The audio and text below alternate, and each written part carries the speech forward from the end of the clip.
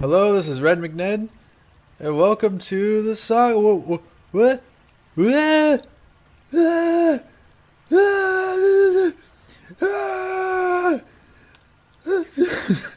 Wait, where am I? Ah, so this is what it's like being sucked down a whirlpool.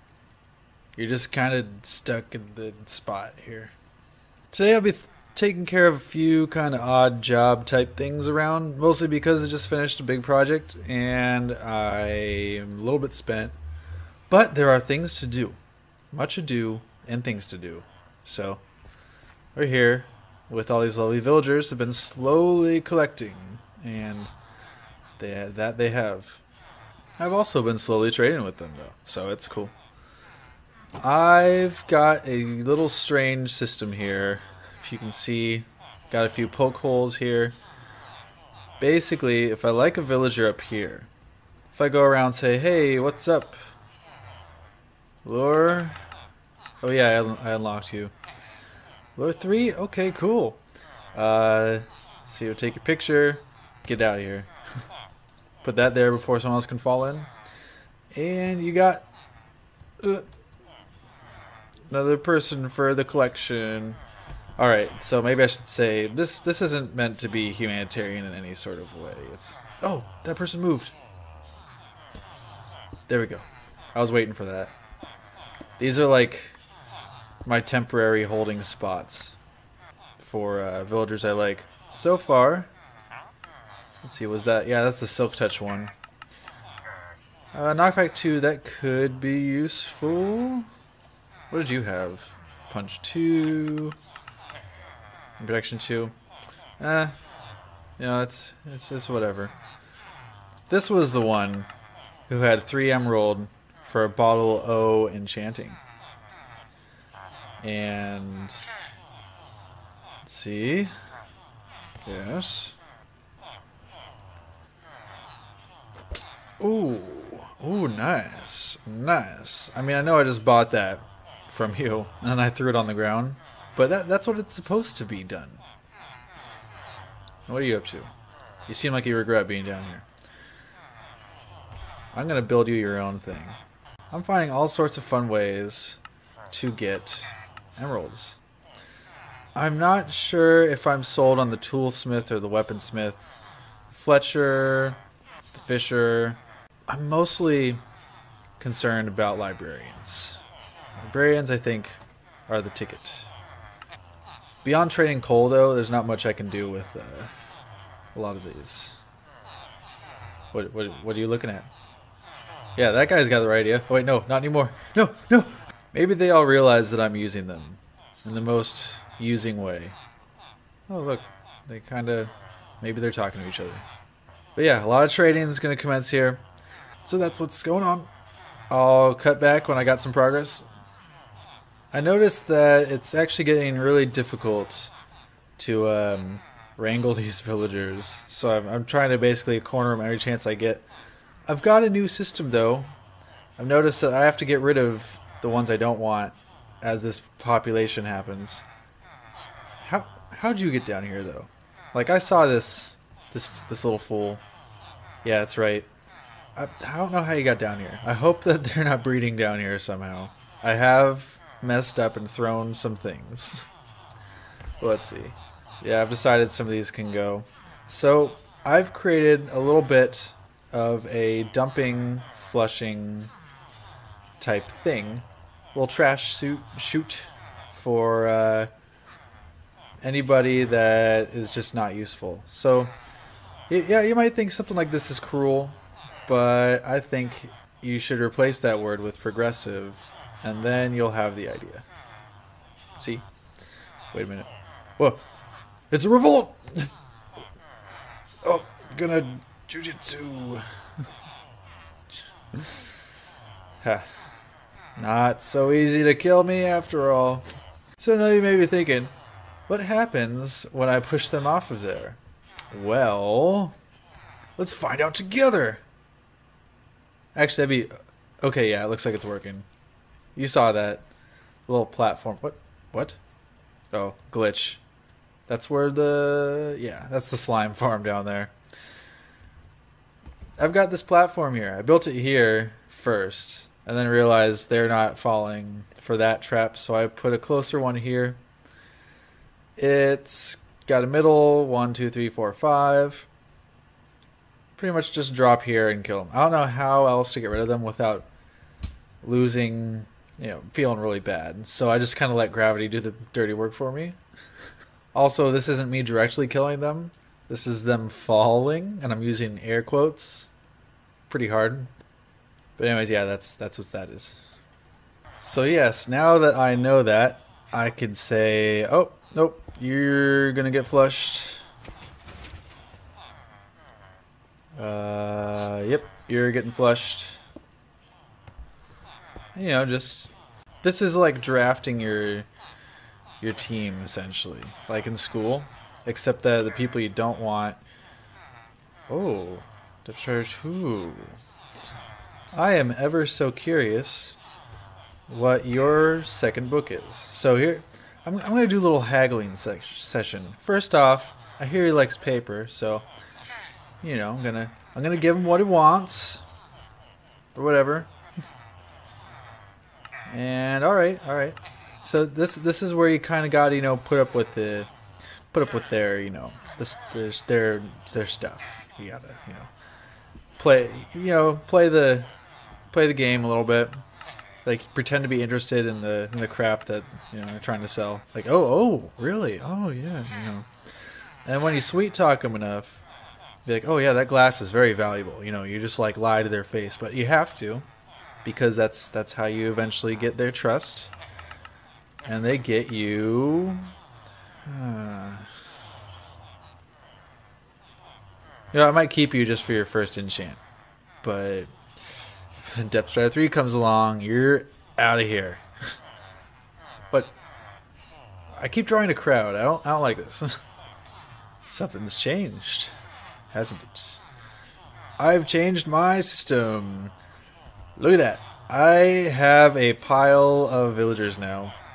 And they've all got the the uh, the enchants. That, well, that's. Did you have a better one? Eh. Okay. Okay. Did you have a better one?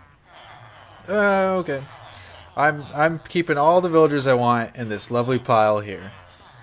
And I'm getting a system down to be able to get these in the carts. Now, ever since 1.9 came out, people have had trouble due to collision boxes collusion boxes. So what I've found is if you push them all the way back, put down the cart, put another rail in front, they'll push out, and they're in a cart now. You get rid of those, and then you can go shopping. Push your little cart in the supermarket and go shopping. Pretend there's not a huge person in it. And there you go. You're now a part of the in crowd. Not the out crowd. God, ah, why? Actually, I've been down here for a little while. I want to, I want to see if there's any, any good stuff going on here. Yeah. yeah. I love you. I love you. What? Get get get out of here. You get out of here. See you. You might have something good. Let's get through the tech tree. And all right, yeah, you're you're you're okay. Farmers, we only need one. And like I said, you know, don't don't feel bad for them. They they could have they chose not to have good trades. You know, and this is this is the price they pay for their uh, not not having good trades. Uh oh. This one's gotten smart. This one's taking a, a child hostage. But I think he I think he has to realize that I don't care. You're all going. Alright, I'm, I'm running out of space. It's not a bad problem. But it is kind of a problem. Alright. Yeah, so Oh! Oh! Live. Don't die. Stay, you are my new favorite.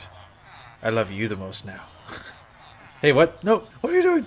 No, no, they're carrying me away. No, uh, no. Oh, never mind what just happened there. Uh, the uprising was quelled, so rest assured that you know all the all the culprits were dealt with and uh, disciplined severely. But that's not all we're up to today. I'm very happy to say that now that 1.9 has gotten its act together, for me, map walls have also gotten their act together, which means this can finally be turned back into what it's supposed to be. If you weren't aware of it last time, oops, we're making a map room, and when I checked back on it, all the maps had been absorbed into the wall.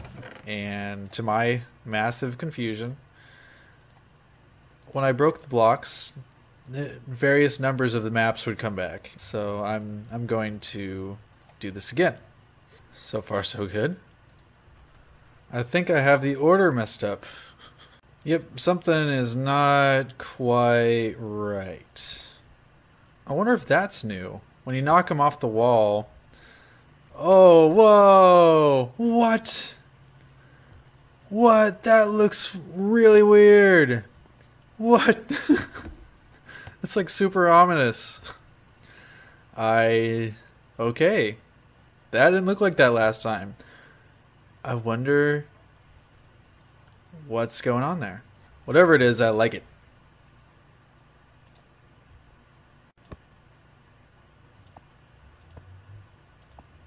What? How did that? How did that get rotated? That's stupid. the reason why I'm happy this is done is that I'm going to change something in this city here, and I don't want it to reflect on this map. I want to get rid of a house that's supposed to have burned down. This one right here. So I want it to appear on this map, but I don't want it to actually be in the town, so that if you saw this map, you'd say, hey, wait a minute, there's no house there which would make you want to investigate it. So this over here is the house that gets burned down in that one scene. I forget where it is, but this is where the map makers were supposed to live. House supposed to get burned down. One of them escapes over the wall, the other one's presumed dead, but we'll talk about that story a little later. The fact is that since the map room is updated, I get to get rid of this and it won't reflect on the map room but the map room will be like, hey, there was a place here, which is exactly what I want. So here are some supplies I'll be using. These are important because I want to show that at least like some pieces still exist from the uh, from the old place. So like, actually, you know what I might do is uh, sink them in a little bit. Get it? Because that's a sink. Yeah, I'm horrible.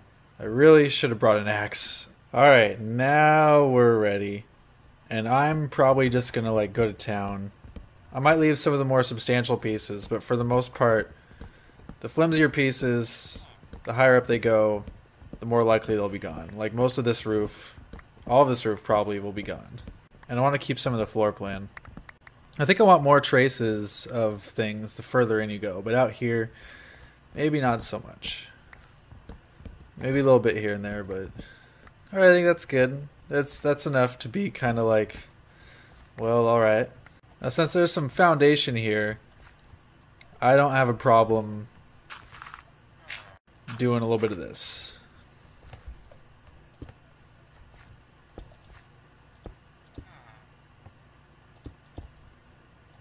Just little little spots of uh, of stone, smooth stone. I'll probably mix it in with other types too. Ooh, actually, you know what? I might even get a little basement. Let's see. I might put like a bookshelf, maybe a crafting bench, like down on the ground right there. Just like little clues that there was something here. Maybe maybe a chest survives too. It would actually be really interesting as if I had a tree growing out of the middle of this.